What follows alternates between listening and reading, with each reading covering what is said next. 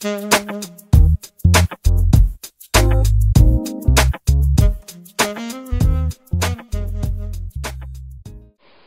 it's Nicolette Toy, and this is a different type of video that I'm doing today. Usually I have all of my natural hair videos. However, today it's um, going to be about my breast reduction that I've had done, and I've had a few questions on YouTube about it, and I just wanted to talk a little bit about my procedure, and if anybody else is thinking about a breast reduction, um, this video may help you out or it may give you a little bit of insight about what I went through. If anyone is thinking about a breast reduction, two thumbs up. I absolutely love my breast reduction. I am so happy I thought about doing it. Um, I got to an age, I'm almost 40 years old all right? And um you know I turned 40 or got ready to turn 40 there was a few things that I wanted to change in my life. So January 2nd of 2011 I decided to cut off all of my hair and go natural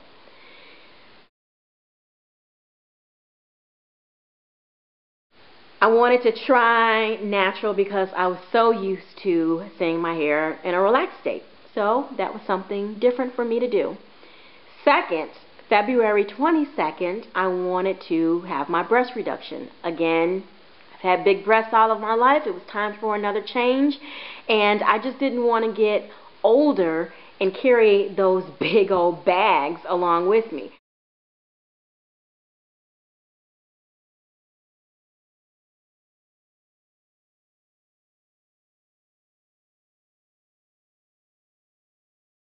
I figure if I'm going to get fragile, you know, you know, the older I get, I can't carry those big old bags around or else I'll be walking around with my head down.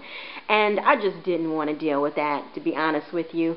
So if you are considering it, uh, bravo. If you're not considering it, then bravo to you too. If that's what you want to deal with, then that's fine.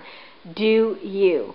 Me, I'm just a very um, athletic. I bowl, I play softball, I swim, I work out, I walk. I just do a lot of things that prohibits me from doing to the best of my ability because of my larger breasts. I was a previous 38 double D. Now I'm a 38D.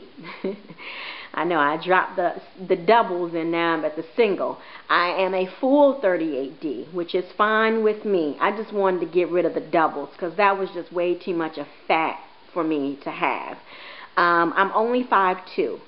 So you see me coming around the corner and you see these big breasts coming around the corner just as well. I just was not having it. I was tired. My husband saw that it was bothering me. Um, he kind of brought it up to my attention.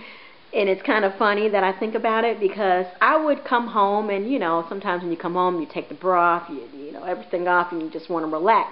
But I noticed when I was walking around, I would have this arm underneath my breast, walking around, you know, and he would be like, why are you holding your breast like that? And I would be caught off guard because I would be like, because I don't want them to fall and um, while I'm walking and still have strain on my back. I just, it was just so natural for me to just take this arm and, you know, do my errands and hold my arm underneath my breast just to keep them up. So he was like, no, you have got to do something about those. Um, another um, tip that I could give to the heavy ladies that maybe, um, you know, aren't going to do a breast reduction, I would, this is what helped me um, actually out a lot to take the strain off of my back. Say, for instance, this is my bra, right? I would take this, go like this, cross it, and I would take a mascara tube and I would stick it in the hole right there. Stick it in the hole, and what it did was keep my breasts up. So I had the mascara on my neck while this was up. It actually felt wonderful.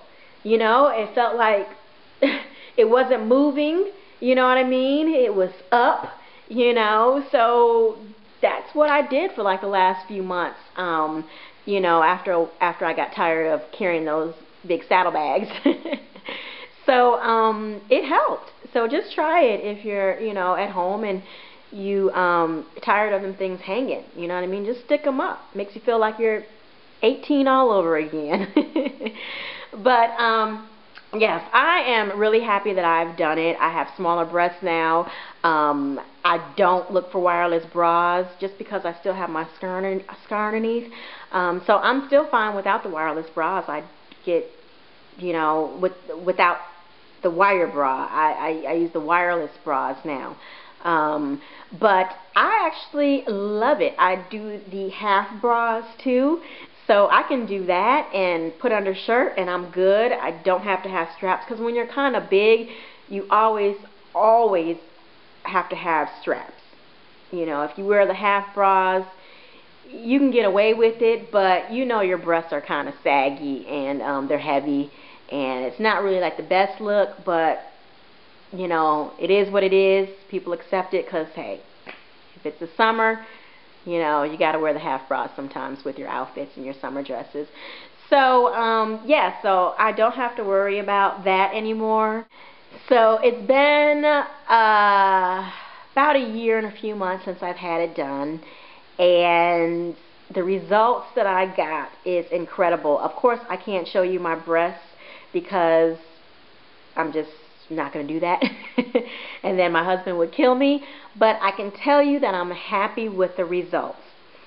What they have to do is, if you haven't researched a breast reduction before you have it done, please research it so you know exactly what they have to do because they do go from underneath the breast and they do have to take off your areolas and reattach them. Mine are reattached to fine. The only thing that is a little bit off I shall say is that my one of my areolas expanded a little bit bigger than the other one. It doesn't look really abnormal. If I took off my breast, no one would be like, oh, what happened? You know what I mean? It, you know, you would really have to look at it to see that it's a difference.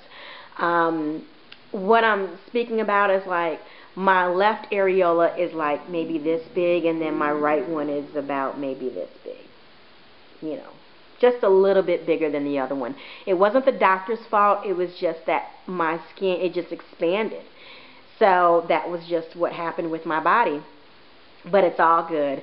Um, at first I was a little bit scared because my nipples and the areolas, everything was just black. And I was like, oh my God, my nipples and everything's dead. I mean, it was so black.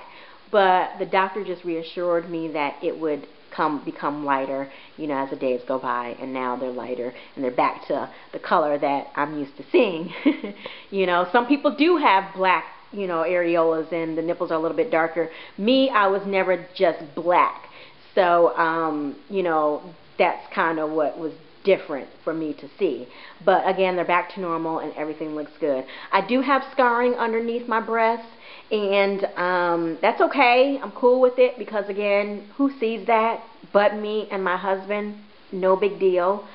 Around my areolas, I was getting some keloids just because about maybe a month or two, I really wasn't paying attention to my breasts. I wasn't caring for them.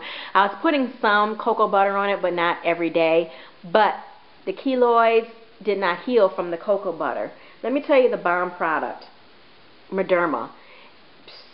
It's like $25, $30, but I'm telling you, it is so worth it for this little tube, I know, right?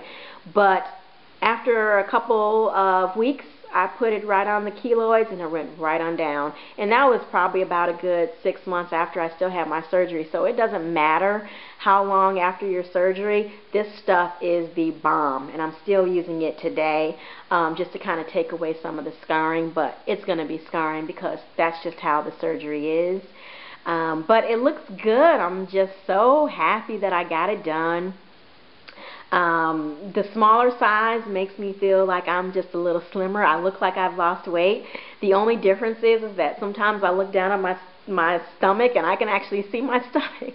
Before my breasts were, were so big that I never got a chance to see my stomach. And now I'm like, ooh, gotta lose a little bit of weight in my stomach because I can see you now. but um, mentally, there are some things that still I think I, I have heavy breasts. For instance, once you get your breasts done after um, a while, you're going to, when you eat, you're going to sit away from the table with like this much of gap in between the table and you while you're eating.